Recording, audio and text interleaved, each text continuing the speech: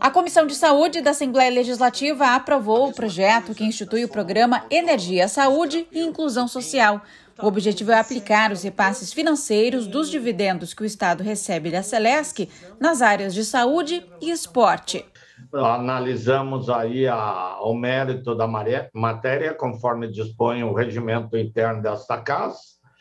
É, o PL busca fomentar, através do programa Energia, Saúde e Inclusão Social, é, destinado à assistência financeira para hospitais municipais e filantrópicos do Estado de Santa Catarina. O colegiado também aprovou o projeto que institui o Dia Estadual contra a Psicofobia. O projeto em tela é de grande interesse público, pois trata da gestão de serviços relacionados à saúde, na qual visa implementar no dia 12 de abril como Dia Estadual contra a Psicofobia.